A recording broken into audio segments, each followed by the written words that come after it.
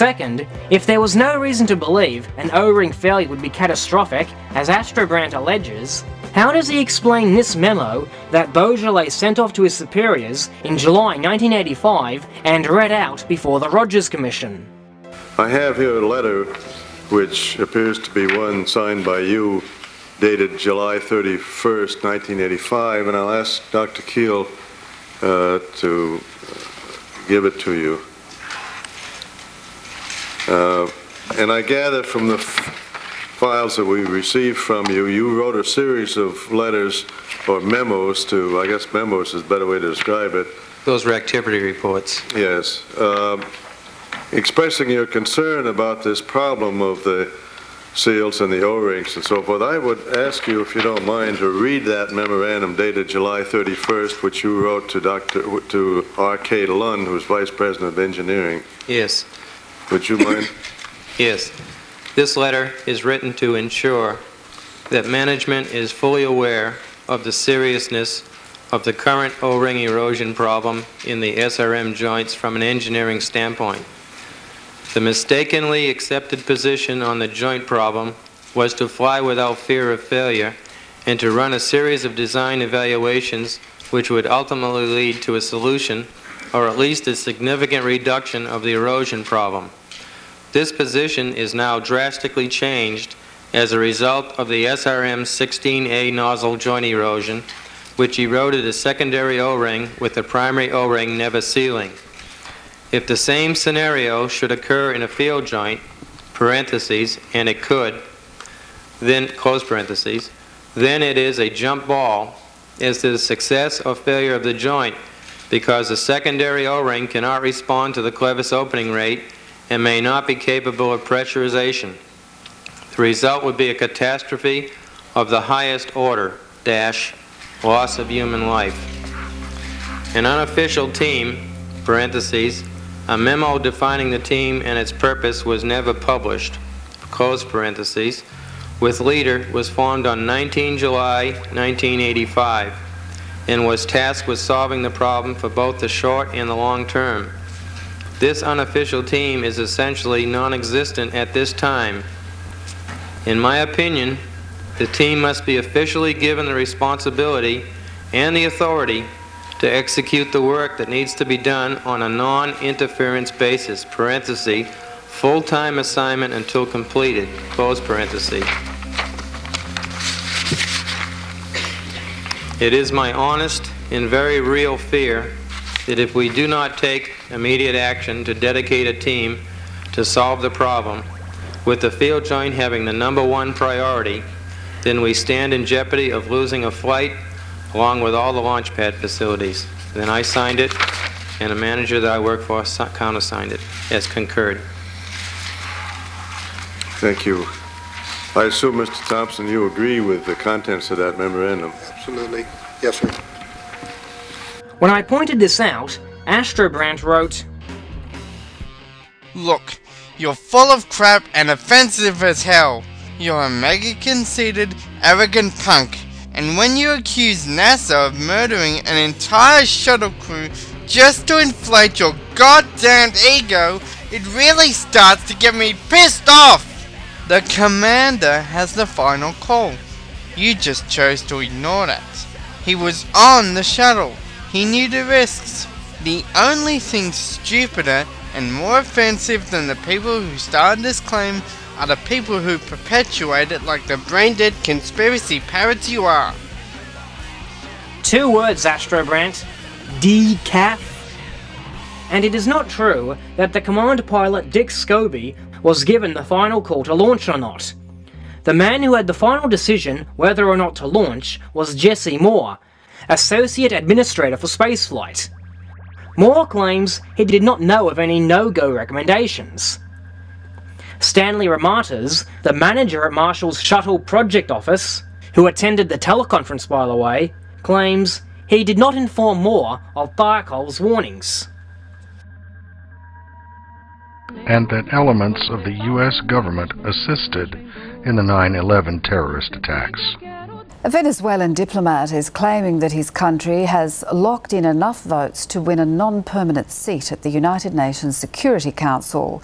The claim has came as Venezuela's President Hugo Chavez again lashed out at the United States.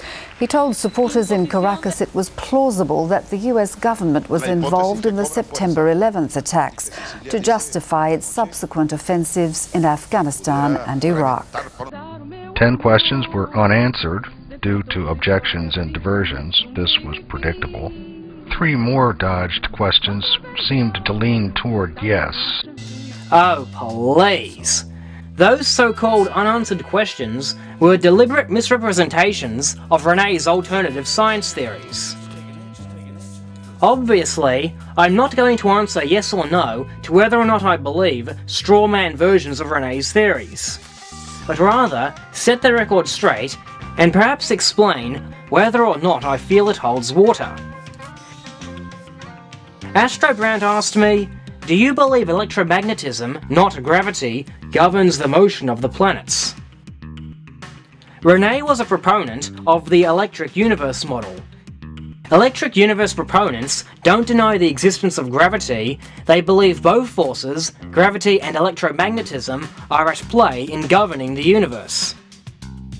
As I stated, I have not had the time to review all the pros and cons of this theory, but at least I am open to hear it out which is more than what I can say about the administrators of the Bad Astronomy forums who promptly lock any thread that dares support or even discuss the electric universe model. Astrobrandt also asked me, do you believe dinosaurs coexisted with humans?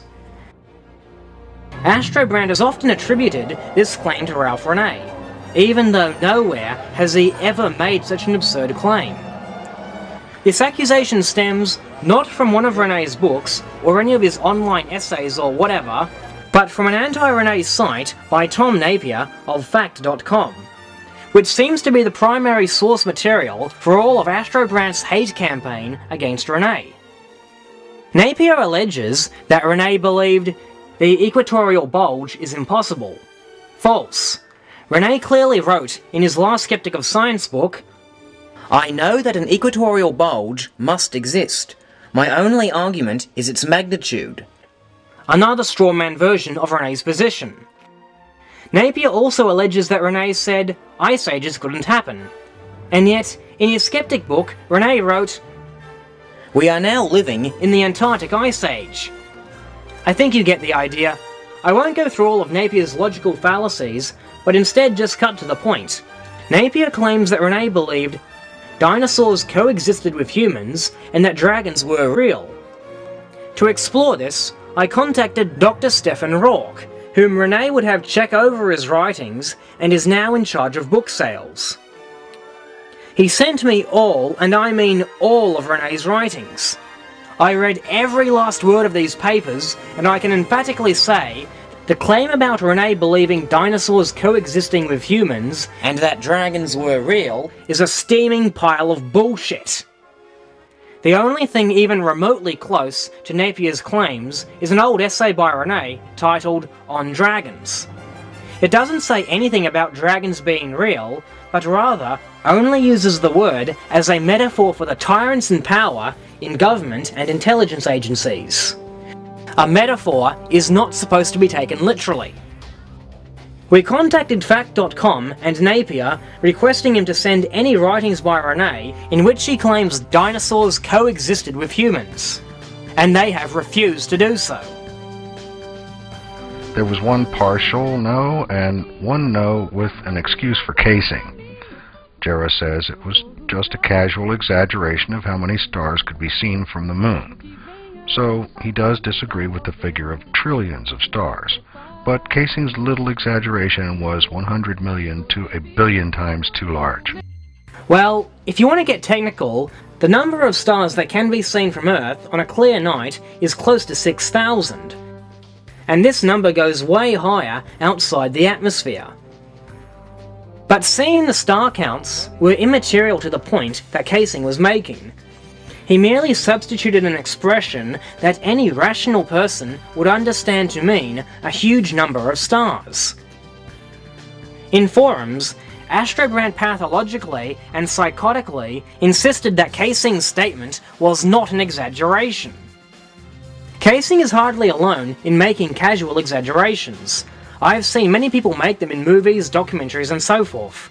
In any case, it's immaterial. Astrobrand claims the lunar surface was way too bright for the astronauts to see stars from.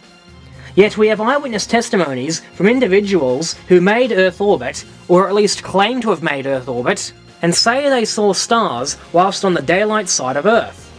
Keep in mind, the daylight side of the Earth is considerably brighter than the lunar surface. If you can see stars on the daylight side of Earth, seeing stars on the daylight side of the Moon should be child's play.